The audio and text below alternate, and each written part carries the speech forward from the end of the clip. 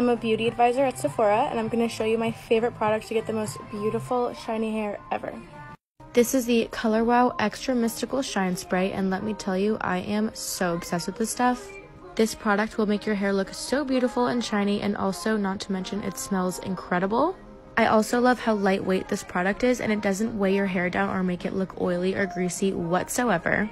Chris Appleton loves this product so much and he even calls it diamonds in a can. I just know that you guys are going to love this.